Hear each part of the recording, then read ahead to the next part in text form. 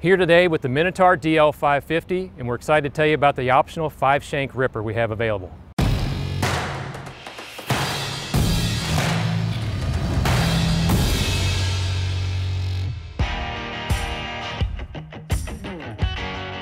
On the Minotaur DL550, it's a very simple switch on the right hand joystick right below it to engage the ripper. The Minotaur DL550 has an optional five shank ripper. It comes from the factory with three shanks in it, but if your application allows you to run five, you have the spot for it.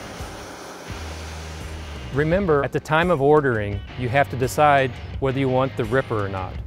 It is built from the ground up, from the chassis. It's a different type of chassis between your standard DL550 version and the Ripper DL550 version. So at the time of order, that's when we need to decide to put the optional ripper on. If you want to learn about the Minotaur DL550 and its ripping performance with the optional ripper, make sure to check us out on casece.com, talk to your dealer or your case sales specialist.